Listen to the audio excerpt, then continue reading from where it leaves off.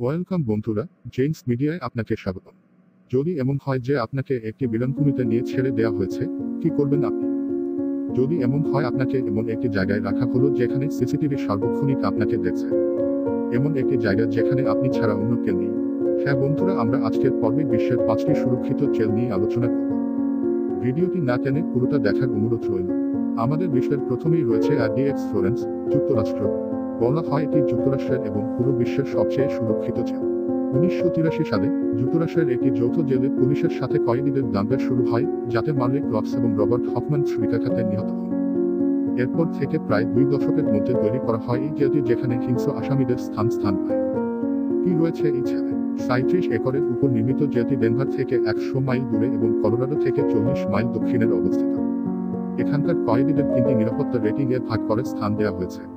এখানকার কয়েদিদের জন্য বিভিন্ন সুবিধা রয়েছে। প্রতিটি কক্ষেই রয়েছে একটি টেবিল, মোড়া এবং বিছানা, যা সম্পূর্ণ কনক্রিটের তৈরি। রয়েছে একটি টয়লেট যা ব্লক হলে নিচ থেকেই বন্ধ হয়ে যায়। বোতলের একটি ঝর্ণা যা সময় মতো পানি দিয়ে বন্ধ হয়ে যায় এবং রয়েছে একটি কল যা বেশি চাপলে বিপজ্জনক হয়।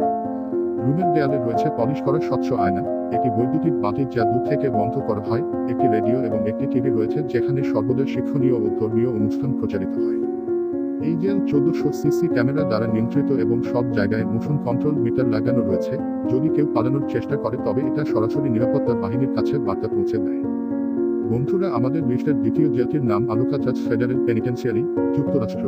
ক্যালিফোর্নিয়ার সান ফ্রান্সিসকো বে, এর ঠান্ডা পানির মাঝে আলুকাচাজ দ্বীপে ফেডারেল কারাগারটি উনিশশো চৌত্রিশ থেকে উনিশশো তেষট্টি সাল পর্যন্ত পরিচালনার কয়েক বছরের সময় আমেরিকার সবচেয়ে কঠিন ও বিপজ্জনক জাদুকরদের স্থান পেয়েছে। এখানকার সর্বাধিক সুরক্ষায় ছিল কুখ্যাত গ্যাংস্টার আলস কার্ফেস ক্যাপন এবং খুনি Robert Birdman of Alcatraz Stroud এখান থেকে কেউ পালিয়ে যেতে পারেনি, যদিও ডজনখানেক প্রচেষ্টা কয়েদিরা করেছিল জেলটি বন্ধ করে দেয়া হয়েছিল শুধুমাত্র এর পরিচালনার ব্যয় বেশি হওয়ায় এবং আমেরিকার একদল স্থায়ী কমিটির দ্বারা দ্বীপটি দখলে ছিল। পরবর্তীতে একে দর্শনীয় স্থানের মর্যাদা দেওয়া হয়। বন্ধুরা, আমাদের তৃতীয় কারাগারটির নাম লাসান্টি পৃথক, ফ্রান্স।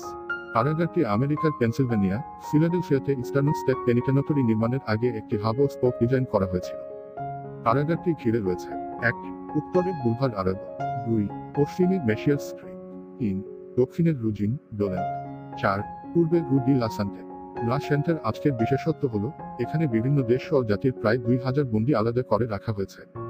এদেরকে চারটি ব্লকে ভাগ করা হয়েছে যেমন, ব্লকে পশ্চিম ইউরোপ, ব্লক বি, কালো আফ্রিকা ব্লক সি, উত্তর আফ্রিকা এবং ব্লক ডি, বাকি বিশ্ব। কিছু বছর পূর্বে একশো জনের মতো বন্দিরা একটি সোয়ারেজ পাইপের ভেতর থেকে পালানোর চেষ্টা করেছিল, কিন্তু এটি বন্ধ থাকাতে সেখানে তাদের মৃত্যু হয়। আমাদের চতুর্থ কারাগারটির নাম আরথা রোড জেল ইন্ডিয়া। মুম্বাইয়ের সবথেকে বড় এবং প্রাচীন কেন্দ্রীয় কারাগার আরথ রোড জেল কোন সাধারণ জেল নয়। এটাকে উনিশশো ছাব্বিশ সালে এক হাজার জন কয়েদির জন্য নকশা করলেও বর্তমানে এখানে দুই হাজার কয়েদি রয়েছে। কিন্তু এই দেশটির অবস্থা ভগ্নদশা হলেও, কোনো কয়েদি এখান থেকে পালাতে পেরেছে বা বাহির থেকে ঢুকতে পেরেছে বলে শোনা যায়নি। দুই একর নিয়ে নির্মিত কারাগারটি একটি দুর্ভেদ্য দুর্গ ছিল। এটি এখনও রয়েছে প্রকৃতির সাথে সাক্ষী হয়ে। বন্ধুরা, একেবারেই শেষ পর্যায়ে চলে এসেছি আমাদের আজকের পর্বে। যদি আপনি আমাদের চ্যানেলটি এখনও সাবস্ক্রাইবও করে না থাকেন, তাহলে এখনই সাবস্ক্রাইবও করে বেল আইকনটি ক্লিক করুন। বন্ধুরা, আমাদের পঞ্চম কারাগারটির নাম জাপানের ফুচু ফুচু জেলখানা টোকিও মহানগরীর কেন্দ্রের পশ্চিমে ফুচ শহরে অবস্থিত। দ্বিতীয় বিশ্বযুদ্ধের সমাপ্তির আগে সুচ কারাগারে কমিউনিস্ট নেতৃবৃন্দ, নিষিদ্ধ ধর্মীয় সম্প্রদায়ের সদস্য এবং কোরিয়ার স্বাধীনতা আন্দোলনের নেতাদের রাখা হয়েছিল।